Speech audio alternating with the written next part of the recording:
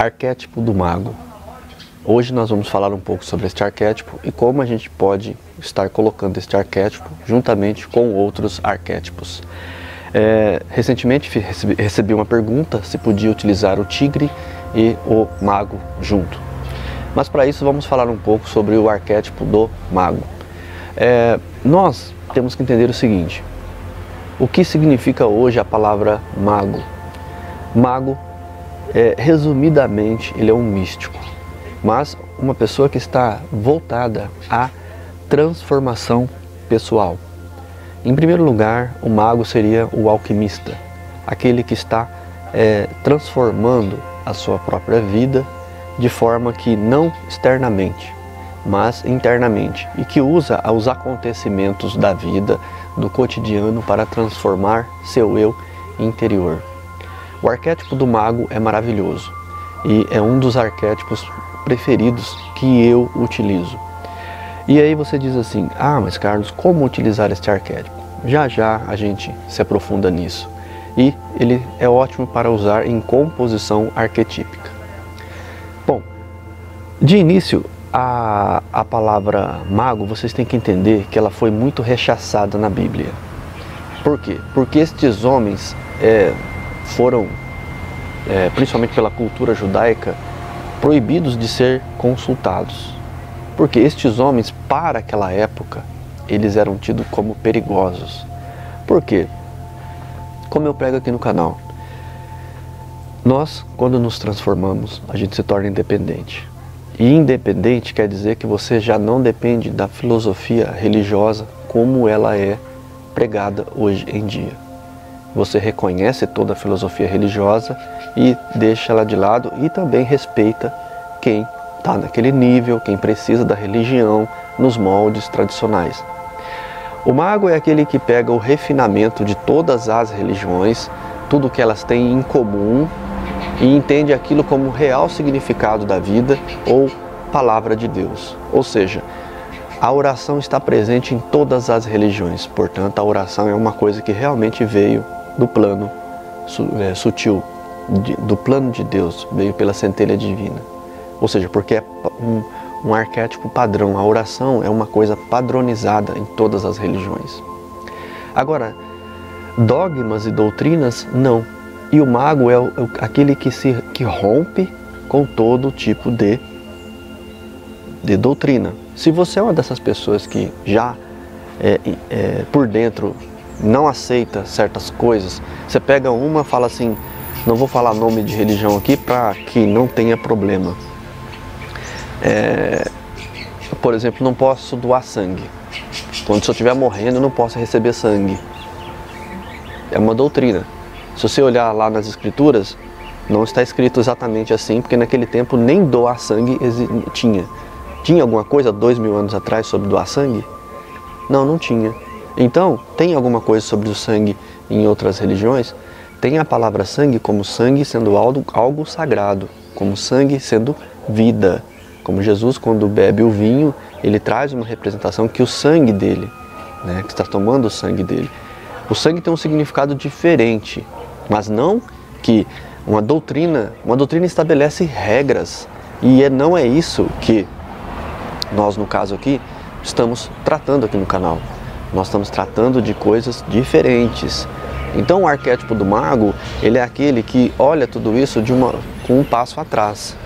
Então fala assim, peraí, tá, você está dizendo que eu não posso, estou é, dando só um exemplo. Né? Tem vários exemplos, como não raspar as pernas, como mulher não raspar braço, os pelos do corpo. Né? Não sei, tem lugares que não raspava porque não tinha gilete. Agora, tem lugar por que, que a mulher raspou, que ela também tem que ser respeitada, isso é doutrina. Daí a pessoa segue se ela quiser.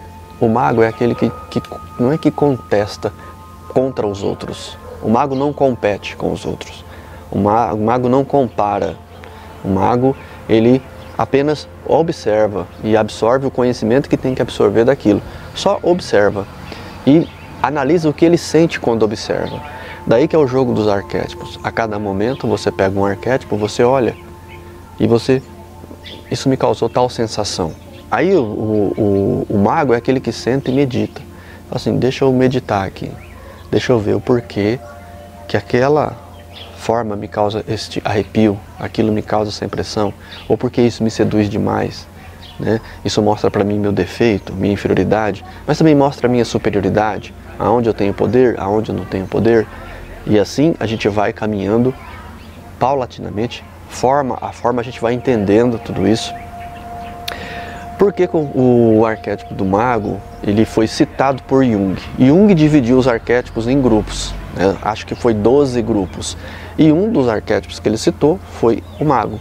Ali tem a qualidade, mas também tem o defeito. Jung colocou cada qualidade, cada defeito, na sua época, os arquétipos que ele conhecia.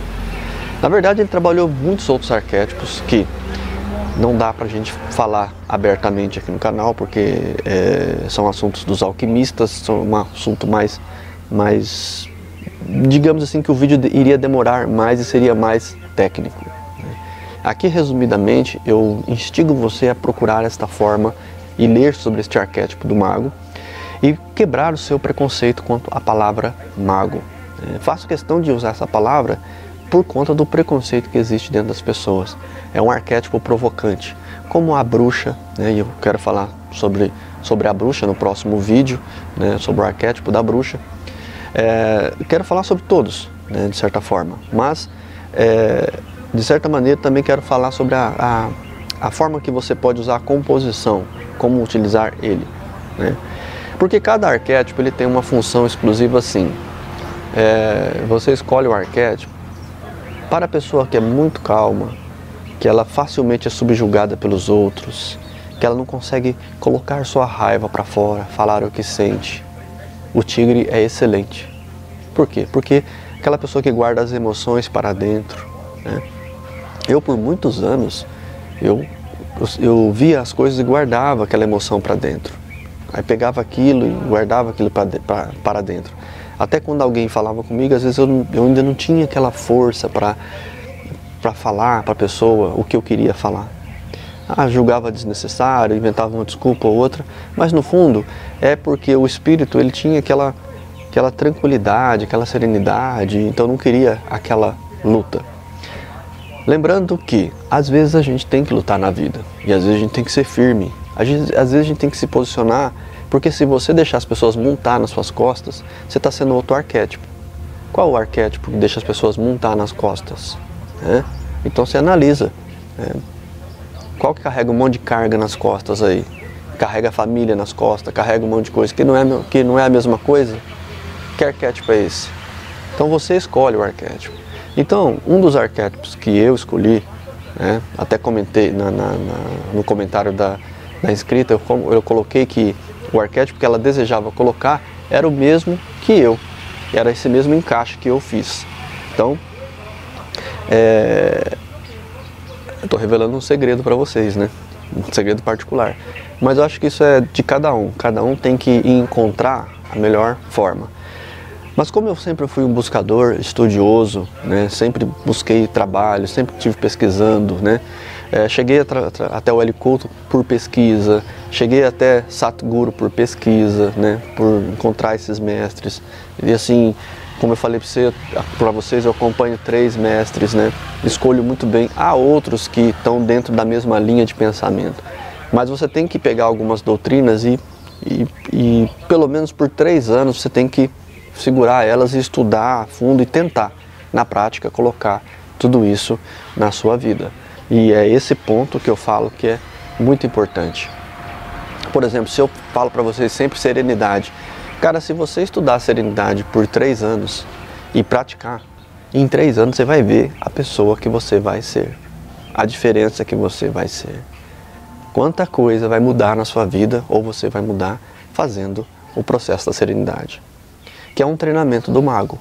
Né? Então, é, o mago treina constantemente a serenidade, essa mudança interior. Tudo aquilo que for para transformar o eu interior, o mago faz. O mago sempre se disponibiliza a fazer essa mudança. E é isso que eu chamo a atenção de vocês. Procurem sempre fazer algo que, não pela ótica do resultado, mas pela ótica do que está acontecendo com você. Às vezes você passa, tem uma morte na família, Aí você entra no campo da injustiça. Não, isso não podia acontecer com aquela pessoa. Você não vai mudar nada. Veja só, seja inteligente. O mago é essa pessoa que olha tudo dessa forma. Seja inteligente. Você vai mudar alguma coisa ali? Não, não vai mudar. Então, o que você tem que analisar? É o que você está aprendendo com tudo aquilo e que, o que todo mundo em volta está aprendendo. E também observa depois de um tempo como é que a vida da pessoa. Eu vi pessoas que eram arrogantes. Aí passou por um processo de doença. Aí ficou humilde. Ficou humilde por um ano até, depois da doença. Passado mais um ano, voltou a ser o que era antes. Aí que está a diferença do mago com a pessoa comum. O mago ele vai, irá aprender, irá trazer aquilo para, para dentro e aquilo vai provocar uma revolução em que ele vai mudar o estilo de vida dele completamente de um jeito que não volte mais a se encaixar no que era antes. E esse que é o segredo do processo. A alquimia da vida é usar as coisas que estão à nossa volta como elementos é, primordiais de mudança. Então, se eu misturo um elemento com outro, formo isso. Né? Ah, ah, o que, que é a água? Se é o oxigênio e o hidrogênio, então forma o, o elemento água. Então, se eu pego o amor e aí eu pego o ódio, o que, que acontece? Por que, que os dois não formam? O que, que elemento forma? Né? O, o que, que você pode fazer na vida do dia a dia para você analisar? Por exemplo, a competição.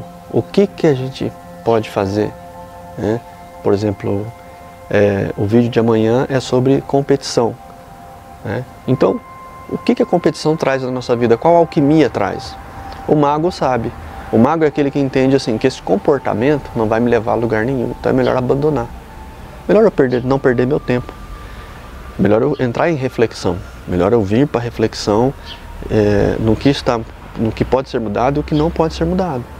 Porque se aquilo é um elemento e eu, eu, eu, eu me torno um elemento, eu me perdi.